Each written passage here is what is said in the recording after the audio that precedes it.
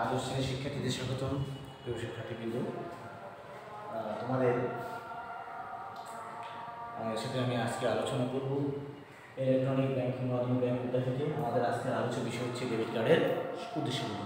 Debit কার্ডের উদ্দেশ্য debit কার্ডটা কি আসলে? ডেবিট কার্ড হচ্ছে এক ধরনের পিন নম্বর জাতীয় পিন নম্বর জাতীয় ডেবিট কার্ড এক ধরনের প্লাস্টিক কার্ড এটা চুম্বকীয় প্লাস্টিক কার্ড এক ধরনের চুম্বকীয়, যার ভিতরে কি থাকে? পিন নম্বর থাকে গ্রাহকের পিন নম্বর নাম, ব্যাংকের অন্য তথ্যগুলি সংরক্ষিত থাকে। এই ডেবিট কার্ডটা কী কারণে আমরা ব্যবহার করে থাকি, তার উদ্দেশ্যসমূহ কী, সেগুলো নিয়ে আমরা এখন আলোচনা করব। প্রথম হচ্ছে ডেবিট কার্ডের এই ডেবিট কার্ডটা আমরা একটু জানি, এটা সর্বপ্রথম উনিশশো সত্তর সালে, উনিশশো সত্তর সালে কোথায়? কানাডায় প্রথম এটা প্রচলন শুরু হয়। অনেক সময় তোমাদের শর্ট কোশ্চেন আসতে পারে যে কখন কোথায় এই ডেবিট কার্ডের প্রচলন শুরু হয়। সর্বপ্রথম এটা কোথায় হয়েছিল? উনিশশো সত্তর সালে আহ, কানাডাতে এই কার্ডের ব্যবহার শুরু হয়। তাহলে এবার আমরা শুরু করি। প্রথমে লেখা আছে দেখো এখানে কার্ড ব্যবহারের জন্য প্রাপ্ত ফিস আন্তঃব্যবহার ফিস পরিশোধ বিলের পর প্রাপ্ত বার্তা প্রভৃতির মাধ্যমে কার্ড ইস্যুকারী প্রতিষ্ঠানের আয় বাড়ানো। সোজা কথা হচ্ছে, এই কার্ডটা কেন ব্যবহার করব? কার্ডের মূল উদ্দেশ্যটা কি? মূল উদ্দেশ্য হচ্ছে আয়টা বাড়ানো। কোন কোন ক্ষেত্র থেকে আয়টা বাড়াবে ব্যাংক এবং কিসের মাধ্যমে প্রাপ্ত ফিস কার্ড ব্যবহারের মাধ্যমে। গ্রাহক যে কার্ডটা ব্যবহার করতেছে, তার ক্ষেত্রে একটা ফিস আসছে না। বছরে এই ধরনের কার্ডগুলো থেকে বছরে দুইবার ফিস নেওয়া হয়। কয়বার? দুইবার। দুইবার ফিস নেওয়া হয়। ছয় মাস অন্তর অন্তর ছয় মাস অন্তর অথবা ব্যবধানে ফিস নেওয়া হয়। তাহলে এই যে একটা এটা, এটাকে বলা হচ্ছে উপাদান। বিভিন্ন ব্যাংকের বিভিন্ন কার্ডের কোনো ব্যাংক মাস এই ছয় মাস অন্তর তিনশো টাকা নেয়, কোনো ব্যাংক তিনশো পঞ্চাশ টাকা নেয়, কোনো ব্যাংক দুশো আশি টাকা নিচ্ছে, এরকম। যাই হোক, এরকম এটা বিভিন্ন ফি নিচ্ছে। তাহলে বাৎসরিক যদি তিনশো টাকা নেয়, তাহলে বাৎসরিক হচ্ছে ছয়শো টাকা। যদি দুশো আঠাশ পাঁচশো ষাট টাকা হচ্ছে। যদি তিনশো পঞ্চাশ, তাহলে সাতশো টাকা হচ্ছে। তাহলে এই ধরনের ফি এবং আন্তঃব্যবহার ফিস আন্তঃব্যবহার ফিস এর মাধ্যমে পরিশোধ বিলের উপর প্রাপ্ত ব্যয়ের বার্তা, যেমন অনেক সময় ডেবিট কার্ডের মাধ্যমে বিল পরিশোধ করা হয়, মাধ্যমে ইস্যুকারী প্রতিষ্ঠানে আয় বাড়ানো। এটা হচ্ছে তাহলে এই কার্ডের অন্যতম উদ্দেশ্য কি?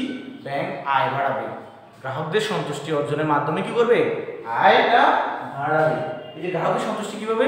বিভিন্ন সেবা দেওয়ার মাধ্যমে। তারপর হচ্ছে দুই নম্বর, বিভিন্ন লেনদেনের খরচ কমিয়ে ব্যয় সংকোচন করা। লেনদেনের খরচ কমিয়ে মধ্যে লেনদেন করতে গেলে সাধারণত আমাদের বিভিন্ন ধরনের খরচ হয়। সেই খরচটাকে কমিয়ে কমাবে, পাশাপাশি কমিয়ে, লেনদেনের খরচ কমিয়ে ব্যয় সংকোচন করা।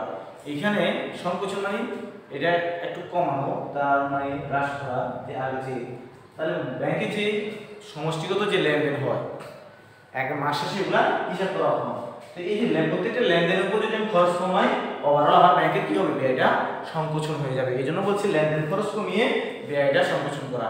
ব্যয় সংকোচন মানে যদি সমষ্টিগত ব্যয় কথা বলা হচ্ছে। ব্যাংকের যে মাসে, পুরো মাসে বিভিন্ন ধরনের ব্যয় হয়, সেই ব্যয়টা সংকোচন করা। এটা যদি আমি প্রত্যেকটা লেনদেনে আলাদা আলাদা যদি কমাইতে পারি, তাহলে আমার সেই লেনদেনটা কীভাবে কমাবো আমি ডেবিট কার্ডের মাধ্যমে যদি আমি করি, আমার যদি এই যে প্রযুক্তি ব্যবহারের মাধ্যমে করি, তাহলে আমার এটা খরচটা কমানো যাবে। তারপর হচ্ছে তিন নম্বর উদ্দেশ্য হলো নম্বর টাকা চেক ক্রেডিট কার্ডের বিকল্প হিসেবে আমি ডেবিট কার্ডটা ব্যবহার করতে পারি। এখানে ক্রেডিট কার্ডের বিকল্প ক্রেডিট কার্ড যখন আমরা ব্যবহার করে থাকি, তার জন্য মান্থলি একটা আলাদা এক্সট্রা পেমেন্ট করতে হয়। সেই পেমেন্ট আমার যদি ডেবিট কার্ড হয়, তাহলে আমার লাগতেছে না। চার্জটা চেক চেকটা আমার যে টাকা উত্তোলন করতে গেলে আমার চেকের প্রয়োজন হয়। তো আমি যদি সেক্ষেত্রে আমি চেক ব্যবহার না করি ডেবিট কার্ডটা ব্যবহার করে থাকি, তাহলে আমি ডেবিট কার্ডের মাধ্যমে আমি কি করতে পারি? আমার চেকের খরচটা কমাইতে পারি। এবং আমার টাকাটা লেনদেনটা সহজে উত্তোলন করতে পারি। চেক হারিয়ে গেলে সেখানে চেকের একটা আমার ইয়ে আহ, ই- কি করতে হয়? বিভিন্ন ধরনের ঝামেলা আছে। দেখা গেছে আমি আমার টাকাটা সে আমার কাছ থেকে হাতিয়ে নিয়ে সেগুলো চেকটা উঠে করে দিল চেকের টাকাটা। আবার নগদ আর অর্থ নিতে গেলে সেখানে আমার কি হয়েছে বহনের ঝুঁকি থাকে। বড় ধরনের অ্যামাউন্ট হলে সেখানে আমার ঝুঁকি থাকে। সেই ঝুঁকিটা আমি হ্রাস করতে পারি এই ডেবিট কার্ডের মাধ্যমে। তাহলে এই যে ডেবিট কার্ডের এখন অথবা ডেবিট কার্ডের ব্যবহারকারী কারা?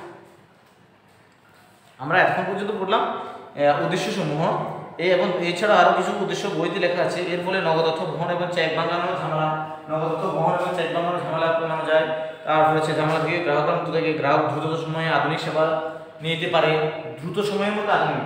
এখন বলছি এই ক্রেডিট কার্ডের সতর্কমূলক ব্যবস্থাপনা যেমন, ক্রেডিট কার্ডে যদি অনেক সময় ডেবিট কার্ড, ইস্যুকারী প্রতিষ্ঠান কার্ডের অপব্যয় এবং অন্যান্য ঝুঁকি এড়ানোর জন্য আগ্রহী কার্ড ধারকের ন্যূনতম আমানত জের থাকা এটিএম কার্ড, ক্রেডিট কার্ড ব্যবহার করা, জমা অতিরিক্ত উত্তোলনের অভ্যাস, কিরূপ প্রভৃতি গুরুত্বের সাথে পর্যালোচনা করা এসব হচ্ছে এগুলো সতর্ক আমরা এখন বলব, ডেবিট কার্ড ইস্যুকারী কারা ডেবিট কার্ড ইস্যুকারী এটা যে কোনো ধরনের গ্রাহক হতে পারে ছোট, বড়, মাঝারি, সব ধরনের গ্রাহককে ডেবিট কার্ড ইস্যু করতে পারে ব্যবহার করতে পারে।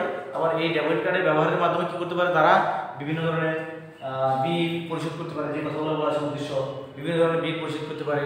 তারপর হচ্ছে তোমার বাজার খরচ শপিং মল শপিং মল থেকে বিভিন্ন কেনাকাটা করতে পারে। তাহলে এই ডেবিট কার্ডে ছোট, বড়, এক কথায় কি? ছোট, বড় এবং মাঝারি ধরনের ব্যবসায়ীরা সবাই কিন্তু ক্রেডিট ডেবিট কার্ড ব্যবহার করতে পারে।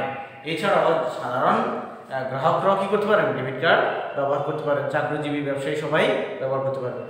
শিক্ষার্থীবৃন্দ আশা করি তোমরা আমার আলোচ্য বিষয়টা বুঝতে পেরেছ। আমি তোমাদের সুস্বাস্থ্য কামনা করে বিদায় নিচ্ছি। আল্লাহ